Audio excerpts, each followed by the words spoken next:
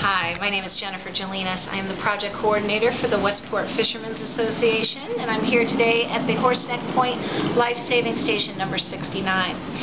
Building is near and dear to our hearts. It was part of a restoration project that we've done with Mass State DCR and through the Historic Curatorship Program.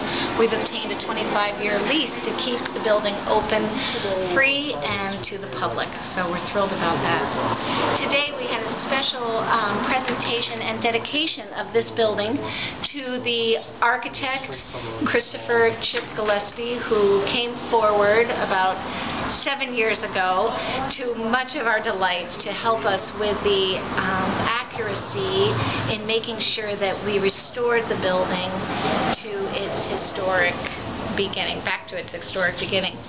The building originated back in 1888 over at Horseneck Beach and was then later moved over to this location on East Beach Road in Westport, Massachusetts for the ease of access to the waterways because from this location we have two access points, one directly out in front of the building and another over to the right of the building. Tell me a little bit about what the building next door was used for, because we looked at that too, and when people come and visit, they'll see that also? Yes, part of the reason that we got drawn into the idea of restoring this building and the visitor center, which is next door, is because as what we do for our organization is we are an environmental advocacy group, and we work to preserve and restore the Westport River for future future generations to come.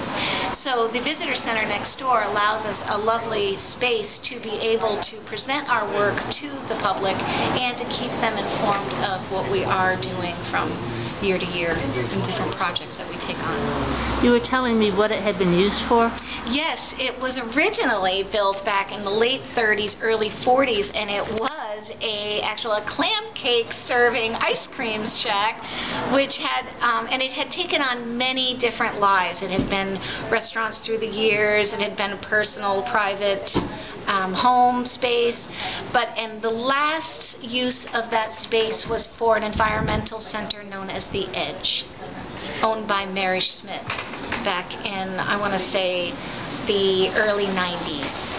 And in the summer, you are open?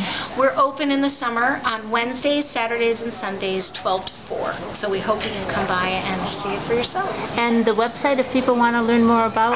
Our website is www.westportriver.org.